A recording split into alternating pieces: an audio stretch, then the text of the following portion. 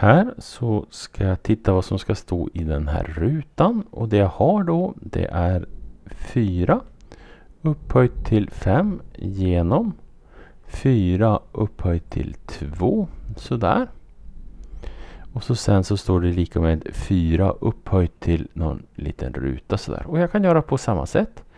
4 upphöjt till 5 genom 4 upphöjt till 2 lika med 4 gånger 4 gånger 4 gånger 4 gånger 4 delat med 4 gånger 4.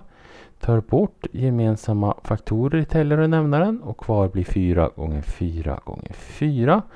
Det vill säga 4 upphöjt till 3. Så det som ska stå i rutan är en trea. Svar. Det ska stå en trea i rutan.